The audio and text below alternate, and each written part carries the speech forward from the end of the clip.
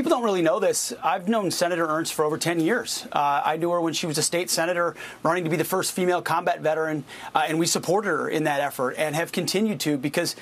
Uh, you get you get into these meetings and, and you, you get you get to listen to senators. Uh, it's an amazing advise and consent process, and you hear how thoughtful, serious, substantive they are on these key issues as they pertain to our Defense Department.